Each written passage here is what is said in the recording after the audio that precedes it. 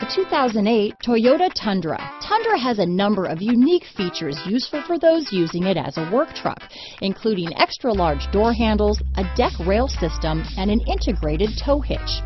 Included as standard are vehicle stability control, traction control, electronic brake force distribution, anti-lock brakes, and tailgate assist. With a towing capacity of up to 10,000 pounds and a payload capacity of over 2,000 pounds, the Tundra is the perfect mix of power and efficiency. This vehicle has less than 105,000 miles.